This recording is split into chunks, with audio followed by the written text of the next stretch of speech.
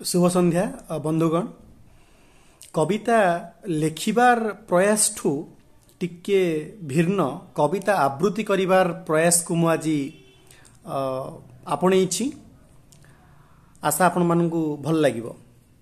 ଜଣେ କବି ଯଦି ତାର ପ୍ରେମିକାକୁ ବା ପ୍ରେମିକାର ଉତ୍କର୍ଷତାକୁ ଆଧିକ୍ୟ ଦେଇ ଗୋଟେ କବିତା ଲେଖେ ତାହେଲେ ସେ କ'ଣ ଲେଖିବ? ଚାଲନ୍ତୁ ଶୁଣିବା। ବରବାଦ କୋଠାର ଗାଉଁଲି ମୁଁ ବରବାଦ କୋଠାର ଗାଉଁଲି ମୁଁ ତୁ ସହରର ସଜ ଗୋଲାପ ମୁଁ ପଖାଳ କଂସା ଲୁଣ ଲଙ୍କାଟିଏ ହେଲେ ମୁଁ ପଖାଳ କଂସା ଲୁଣ ଲଙ୍କାଟିଏ ହେଲେ ତୁ ମାୟାବିନୀ ମାୟା ମଧୁପ ତୁ ମାୟାବିନୀ ମାୟା ମଧୁପ। ବଦନାମ ଗଳିର ଗୁଣ୍ଡାଟେ ମୁଁ ବଦନାମ ଗଳିର ଗୁଣ୍ଡାଟେ ମୁଁ ତୁ ପ୍ରଣୟ ଦେଉଳ ଈଶ୍ୱରୀ ମୁଁ ଲୁଟ୍ ତରାଜ ଠକ ଆତଙ୍କ ହେଲେ ତୁ କୋମଳାଙ୍ଗୀ ସୁନା କିଶୋରୀ ତୁ କୋମଳାଙ୍ଗୀ ସୁନା କିଶୋରୀ।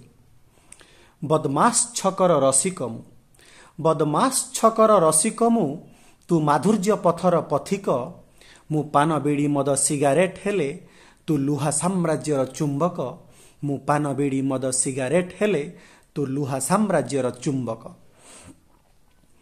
ବେଇମାନ ବସ୍ତିର ବାସିନ୍ଦା ମୁଁ।